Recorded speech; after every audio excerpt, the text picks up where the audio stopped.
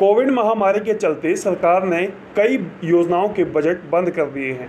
ये बात रिकांगपिओ में विधायक किन्नौर जगत सिंह नेगी प्रेस को संबोधित करते हुए कही।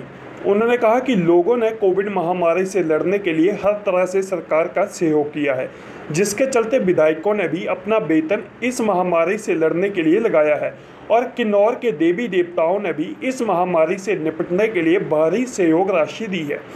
मगर बड़े दुख की बात है कि कोविड महामारी में गरीब लोगों से उनके इलाज के लिए पैसे लिए जा रहे हैं, जबकि दूसरी और इनके लोग जो क्वारंटीन में हैं, उनसे कोई पैसा नहीं लिया जा रहा है।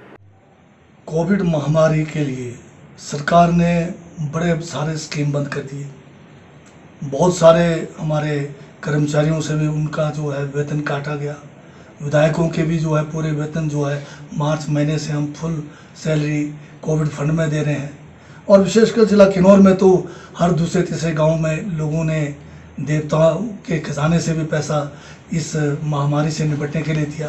परंतु आज अफसोस इस बात का है कि कोविड सेंटरों में गरीब लोग जो चाहे मजदूर है या दूसरे अन्य लोग हैं, उनसे जो वसूली की जा रही है। जो कि गोद जो है, एक, हम इसका जो है विरोध भी करते हैं निंदा निंदा भी करते हैं कि ये कैसी सरकार है कि सारे स्कीमें बंद करके कोविड के नाम पे पैसा इकट्ठा और फिर कोविड से जो लोग ग्रस्त है, उनको जो है कोई नहीं दे रहे?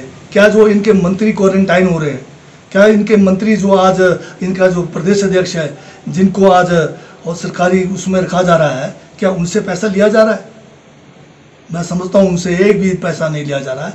उनको जो तो वीवीआईपी ट्रीटमेंट दिया जा रहा है पर गरीब आदमी को एक कोविड सेंटर में, जिसमें ढंग से व्यवस्था नहीं है, साफ़ सफ़ाई नहीं है, टॉयलेट्स का ठीक से व्यवस्था नहीं है, खाने के लिए ठीक से प्रॉपर न्यूट्रिशियस डाइट नहीं है, उनसे पैसा लेना जो है, बिल्कुल ही घोर अन्याय है।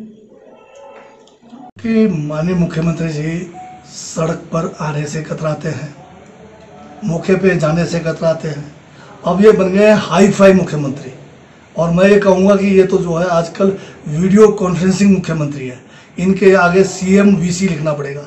सीएम तो है ही है प्रदेश के पर वीसी वीडियो कॉन्फ्रेंसिंग मुख्यमंत्री ये बनाना पड़ेगा।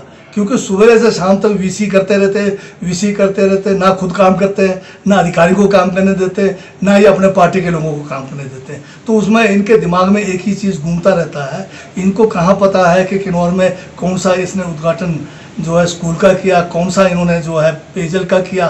पेयजल को ये बोल रहे हैं, ये जो सिंचाई की योजना को कहते हैं कि मैंने वाटर सप्लाई का उद्घाटन की बधाई दे रहे हैं हमारे लिए।